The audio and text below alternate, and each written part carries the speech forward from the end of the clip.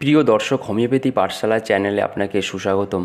আজকের সময় আমরা যাই খাবার খাচ্ছি, সব খাবারের মধ্যে প্রচুর পরিমাণে টক্সিন বা বিষ থাকছে, যা প্রতিদিন আমাদের শরীরে প্রবেশ করতে থাকছে। এমনকি আমরা যে নিঃশ্বাসের মধ্যে বাতাস গ্রহণ করছি, সেই বাতাসও বিষে ভর্তি। পলিউশন এতই বেড়ে গেছে, শাকসবজি, ফলমূল, জমিতে যে চাষবাস, সবেতে কীটনাশকের ব্যবহার খুবই বেড়ে গেছে। না চাইতেও প্রত্যেক দিন আমাদের শরীরে টক্সিন বা বিষ যাচ্ছে। এইভাবে প্রত্যেক দিন অল্প অল্প করে বিষগুলো আমাদের শরীরে জমা হতে থাকে। ফলে আমাদের শরীরে অর্গানগুলোকে অসুস্থ করে দিচ্ছে।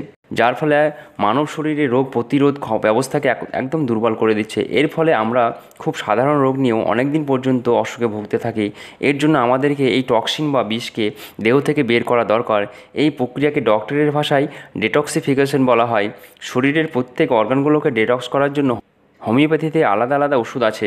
যেমন লিভারকে ডেটক্স করার জন্য চেলিডুনিয়া মাদার টিংচার ব্যবহার করতে হয়, স্কিনকে ডেটক্স করার জন্য বারবারিজ অ্যাকোফিলিয়া মাদার টিংচার ব্যবহার করতে হয়। এইভাবে পুরো শরীরের অর্গানগুলোকে ডেটক্স করার জন্য আলাদা আলাদা হোমিওপ্যাথি ওষুধ রয়েছে। প্রায় আট থেকে দশটারও বেশি ওষুধ আছে। পুরো শরীরকে টক্সিন বা বিষমুক্ত করতে হলে আট থেকে দশটা ওষুধ একসঙ্গে খাওয়া সম্ভব না।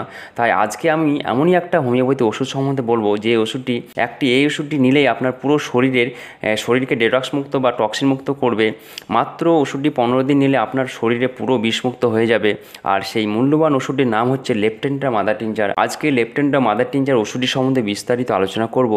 আপনি আমার চ্যানেলে নতুন এসে থাকলে চ্যানেলটি সাবস্ক্রাইব এবং শেয়ার এবং লাইক করে ভিডিওটি শেষ পর্যন্ত দেখতে থাকুন। লেফটেন্ডা ওষুধটি আমেরিকার এক প্রকার গুলমের তাজা মূল থেকে মাদার টিঞ্জার তৈরি করা হয়। এখন জানব লেফটেন্ডা মাদার টিংচার আমাদের শরীরে কীভাবে কাজ করে।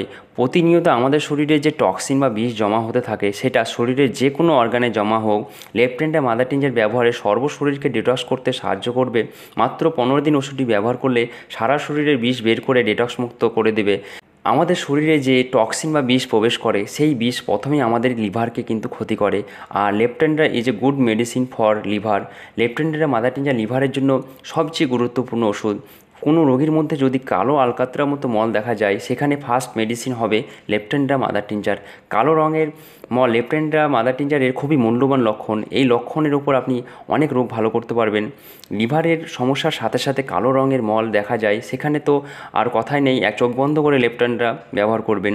পেটের সমস্যায় গ্যাসের সমস্যা অ্যাসিডিটি বদহজম এবং এর সাথে যদি কালো রঙের মল দেখা যায়, সেখানে আপনি লেফটেন্ডা মাদার টিঞ্চার ওষুধটি ব্যবহার করবেন, খুব সুন্দর কাজ পাবেন।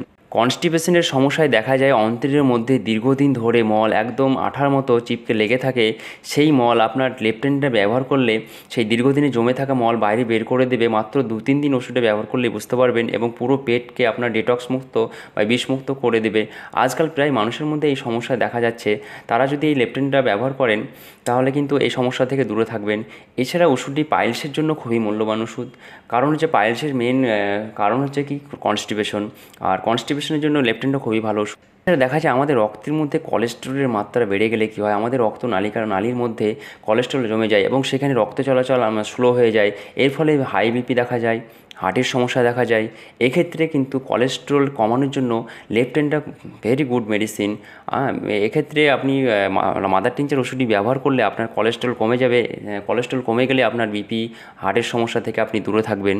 বন্ধুরা লেফটেন্ডরা মাদার টিঞ্চার ওষুধটি মাত্র পনেরো দিন ব্যবহার করলে পুরো শরীর কিন্তু আপনার ডেটক্স মুক্ত হয়ে যাবে।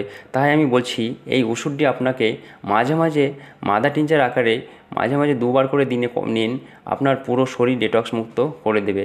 ওষুধটি আপনি ব্যবহারের নিয়মটা আমি জানিয়ে দিচ্ছি আগে।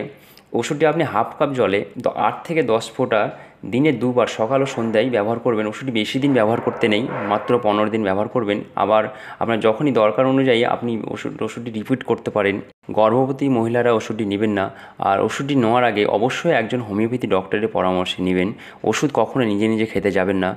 ভিডিওটি আমি শিক্ষামূলক হিসাবে আপলোড করেছি। তো বন্ধুরা, আজকের ভিডিওটি যদি আপনাদের ভালো লাগে, তো ভিডিওটি সাবস্ক্রাইব, লাইক, শেয়ার অবশ্যই করবেন। এবং আমি এই ধরনের ভিডিও আগামীতেও আপলোড করতে থাকব।